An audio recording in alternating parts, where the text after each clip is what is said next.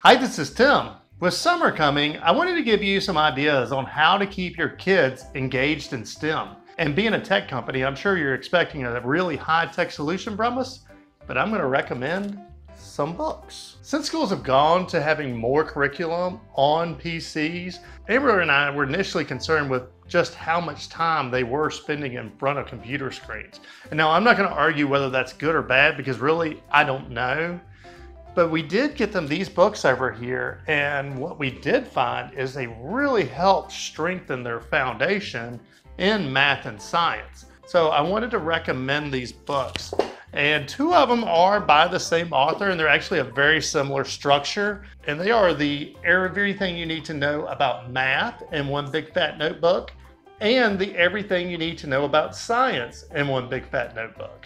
And these are really good books. And it could be that I lean towards these because their structure is kind of similar to how we teach PLC training is, well, first, it is very colorful. I do kind of like color. They use some good visuals. They give you some key concepts. And at the end of each chapter, there's not a 100 question test. There's just a few questions about each concept to make sure you understood it.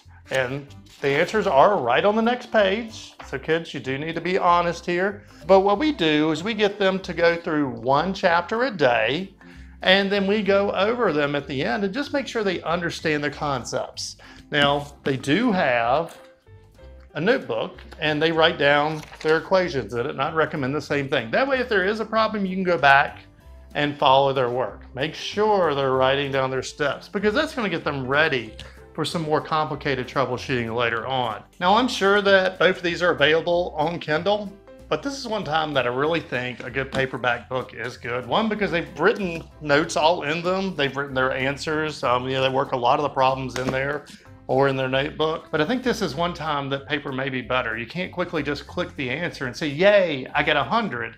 Really, it's mostly about really identifying the problem, writing out what you need to do to solve it. At that point, their answer is going to be correct. But those steps to make sure that they know how, I think are important.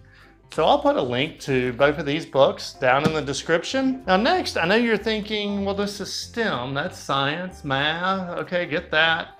But yes, we have a reading comprehension book in here. This probably has been the best one of them as far as STEM because these exercises that are in here, they're not just about reading a story and saying, okay, Jack and Jill went up the hill. Who went up the hill? Jack and Jill. It's not like that.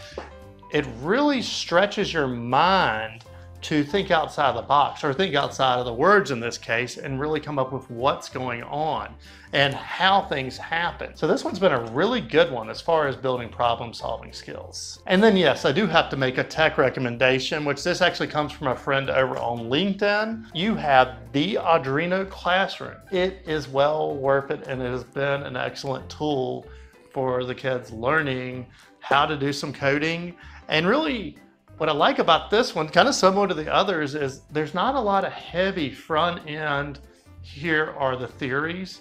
It's more of, hey, let's do this wiring exercise, which by the way, this is more in a book. It actually comes with an Arduino, the wires you need, potentiometers, all types of fun things.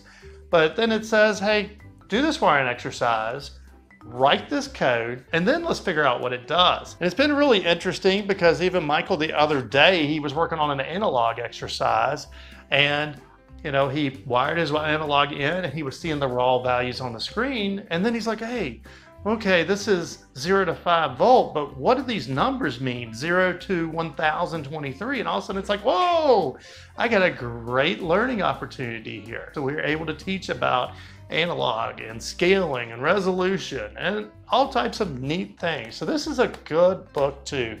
So these are four books that I would really recommend that you look at for the summer. And I mean, it is not grueling like guys, we, you know, we must keep drilling the kids all summer. It's just, you know, they, they probably spend maybe 20, 30 minutes a day on it and they're done. And it just kind of keeps their mind moving because I, you know, I know it's a summer break, but if we can keep their minds just working a little bit and keep them a little engaged, then it'll really pay off next year. So I'll put links to all these books in the description. Have a great summer. Till next time. Hey, this is Tim. And this is Amber of TW Controls. We run the automation store. Hey, thanks for finding our channel. Here's a playlist with some similar videos. And YouTube thinks you'll like this video. Please like our video and subscribe to our channel. And if our videos have helped you make some money and you're not using our products, please consider supporting us on Patreon. Till next time. See ya!